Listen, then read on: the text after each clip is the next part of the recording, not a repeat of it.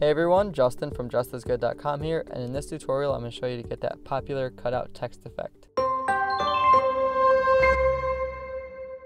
So a lot of times when you see this, it might already be a preset font, but after this tutorial, you'll know how to cut any font out of any shape. So first, grab your shape. I'm going to go ahead and use my rectangle tool here to make a rectangle of my desired size across the middle of the image.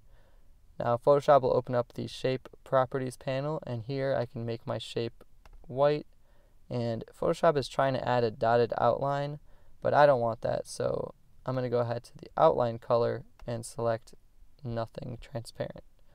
So I'm going to go ahead and close my properties window and now I have my rectangle in place.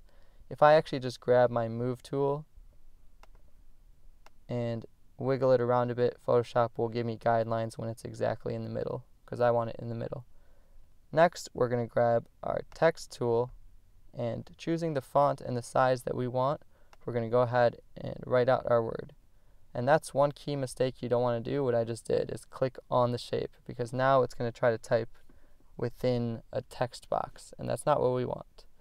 So actually, good thing I made that mistake. You don't want to type in the text box. You want to start your new shape layer outside of the bounds of anything. So I'll click outside here and then I'll type my word. Alright, I'm just using the color black so it stands out, but it doesn't really matter. Just think of this layer as our guideline or stencil. We don't need it afterwards. So once I have my word typed out, I can go ahead and use the move tool again and place it. And of course you can change the size and the tracking and whatnot in the character panel, but I like how it is like that. So now that I have it placed, all I'm going to do is hold the command key on my keyboard, and if you're on a Windows PC, I think it's control, and then just click on the text layer here.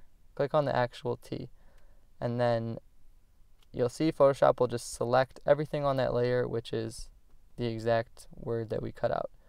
Now you want to highlight the shape layer you just made and then with that selection still up, go ahead and go to Layer, Layer Mask, Hide Selection.